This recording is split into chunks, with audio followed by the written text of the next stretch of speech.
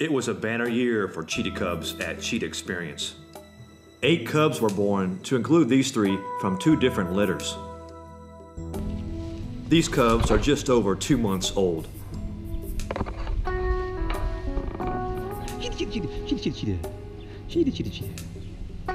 Play becomes a huge part of their lives at this age.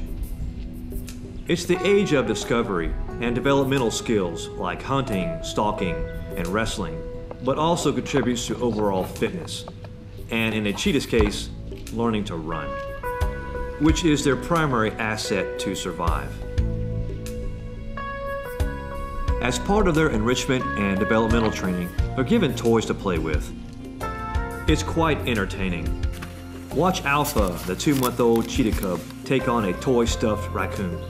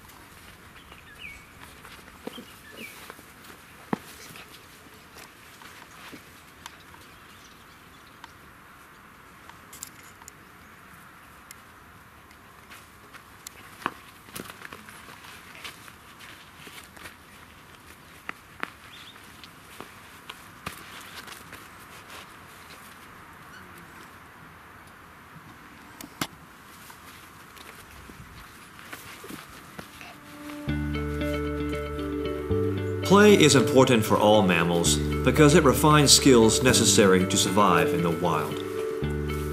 It also helps in the development of the body. It helps bones, muscle, and connective tissue get stronger. Cheetah cub life is tiring. After a long day's play, it's time to rest. Cheetah cubs need lots of rest and grow fast. In the wild, cheetah cubs are killed by lions, leopards, and hyenas. If they can reach the age between 6 and 8 months, they can outrun anything that's chasing them.